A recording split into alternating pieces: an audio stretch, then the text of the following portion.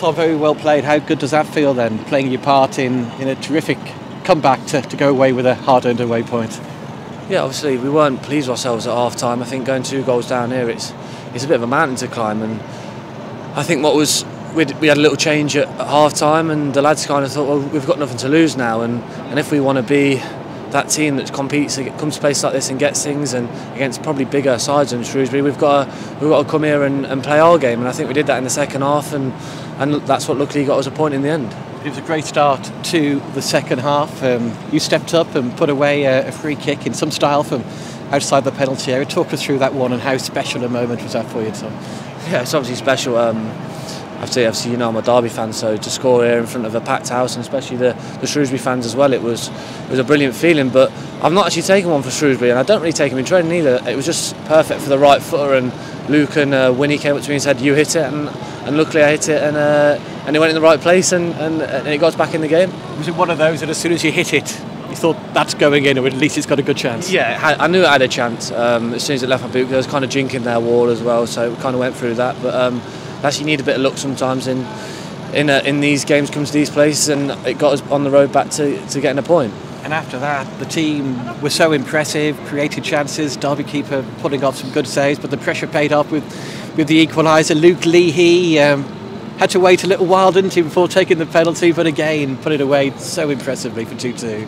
Yeah, look, you always fancy Luke um, from the penalty spot. I don't think he's missed one this season, touch wood, but um, no, he's brilliant from there, and, and, it's what we deserved. I think we played probably probably until like the 85th minute when we were hanging on a little bit with all the change in that, but for 40 minutes we were the much better side second half and, and really take, took it to him. We had him on the ropes, and uh, I think if we hadn't come away with a point, we'd been really disappointed. What about playing in this sort of atmosphere? Over 27,000 here today. It was a noisy atmosphere throughout, wasn't it? Great support from the travelling fans as well. How was it out there? That's what we want. Um, the first 20 minutes was it was like that. It was loud. You couldn't really talk to the person that's five yards away from you. It's what you want. And um, if we want to play in arenas like this uh, week in week out, we've got to keep working hard and keep getting results. And maybe one day we'll all be here as a squad. And how special is it, as a, a Derby County supporter as you are, to to play here at Pride Park and play so well and, and score against them as well. Yeah, obviously it's nice. Um, just just buzzing that obviously my family were here and they're big Derby fans as well. So just buzzing to spear and get a goal and, and I think completed it now. I think.